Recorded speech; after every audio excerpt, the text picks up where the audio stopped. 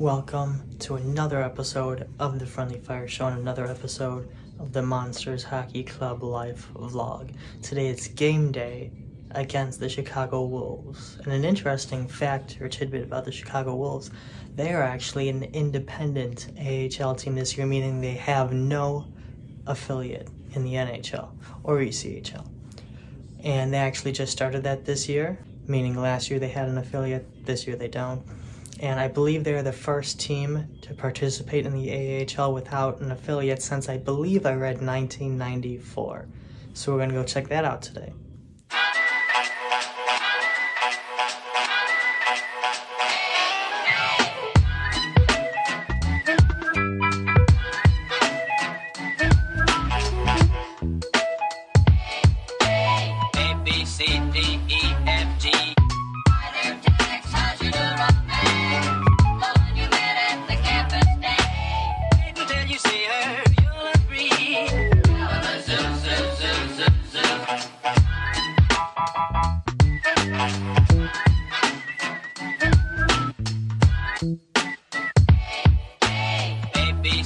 D, E, F, G. Wait until you see her. Me.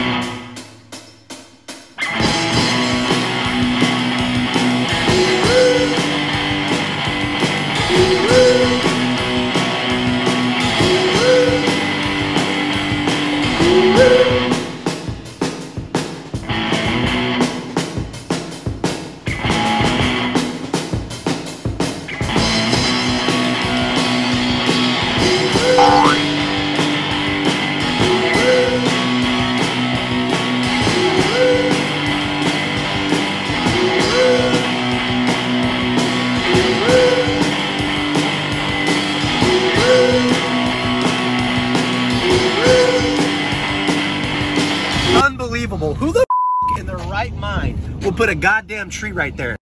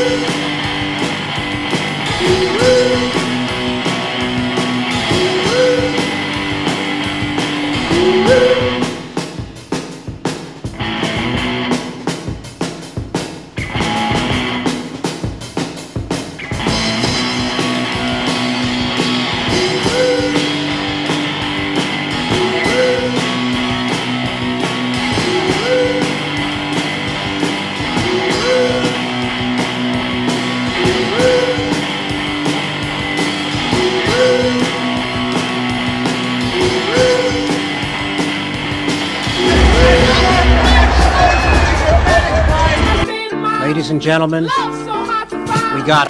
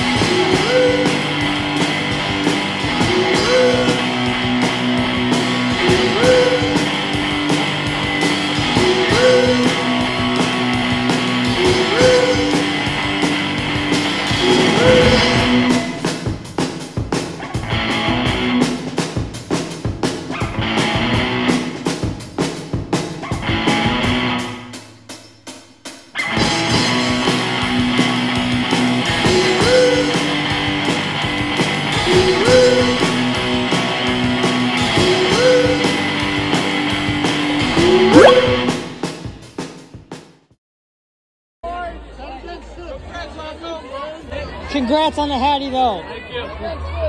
Thank you.